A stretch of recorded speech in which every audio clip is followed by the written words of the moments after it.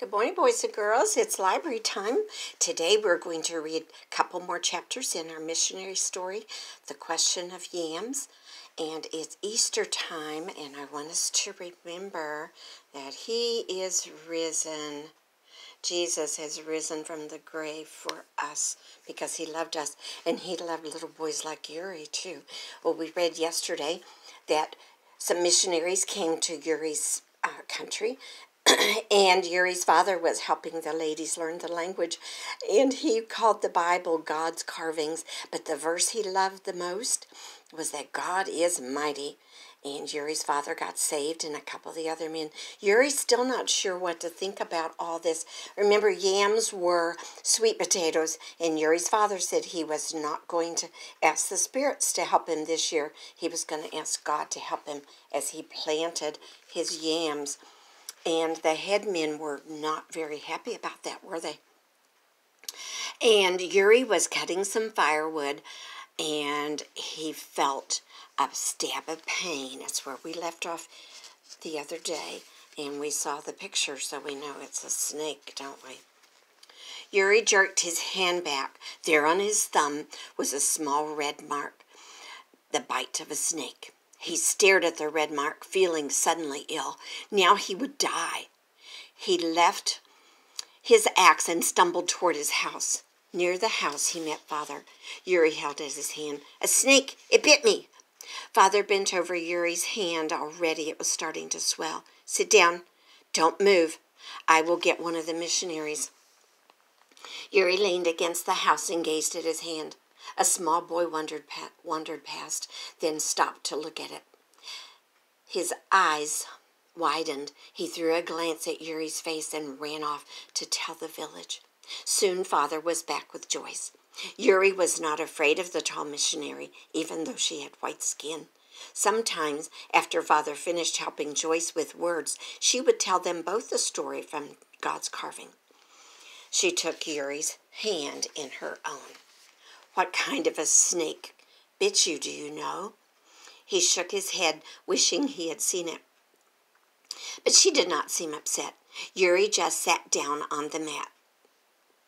Uh, Yuri, you just lie down on the mat and keep still. I called the doctor on the radio. He will be here as soon as he can. He will bring medicine that's good for snake bites. She glanced at the dark clouds that hung low in the sky. Let's pray that the clouds open up so the helicopter can get here. Yuri watched her yellow hair through his half closed eyes. Do you see the rainbow on our book? Um, behind me in the window, I have a a crystal, a prism, and the sun is shining on it and it's sending rainbows. Um, I feel like that's a sign that God is with us because He makes the rainbows and He's with Yuri and his family and people all over the world, isn't He? Back to our story. She nodded to his father. I will get some men to pray, father said. Yuri's mother sat down next to him, weeping softly. Christians came into the house and stood around his mat they began to pray.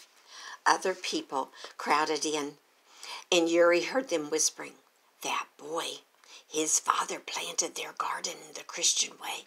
Look what happened to him. Surely he is being punished. Yuri's eyes flew open in alarm. Don't worry about them, said father. You trust God, Yuri. We have talked to him about you, and he will take care of you. Yuri tried to lift his hand, but it was too heavy. He tried to move his feet, but his feet were numb. Bring the nettles. I cannot feel my feet. They are dying.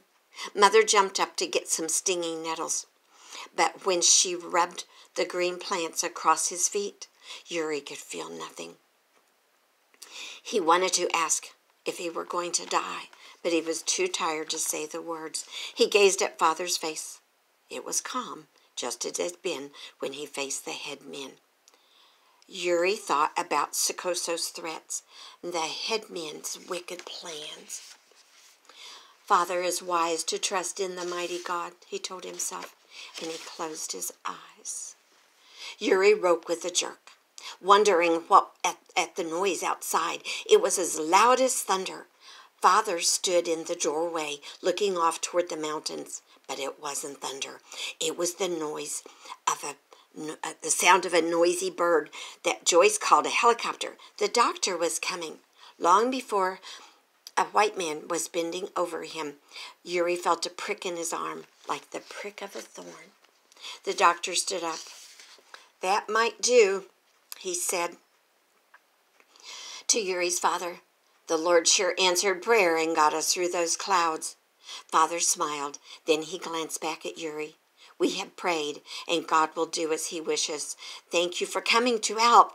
He went outside with the doctor. I have coconuts here for you, and I want to give some to the pilot of the helicopter. The next time Yuri opened his eyes, he felt better. He could, as soon he could leave his mat and sit in front of his house. He blinked in the sunlight. He could feel its warm rays seeping in his bones to make him strong. One morning, as Yuri sat in the sun, he saw that the ground was cracked. Isn't this the rainy season? he thought. The sun has been shining for many days, too many days. What about the yams? They would die without the rain. Father, Yuri pulled himself to his feet. Father hadn't said much about the garden lately, but the Christians had been praying more than ever. He plodded down to see the yams. It seemed like a long way, and his breath was coming fast by the time he got there. The plants were still green, but the vines had not even spread across the mounds. Their curly ends seemed to droop. Their leaves were much too small.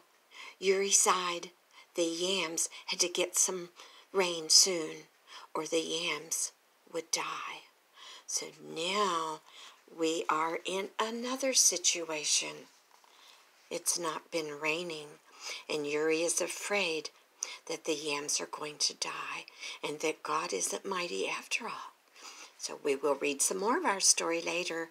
You have a wonderful day, boys and girls. I miss you and I love you very much.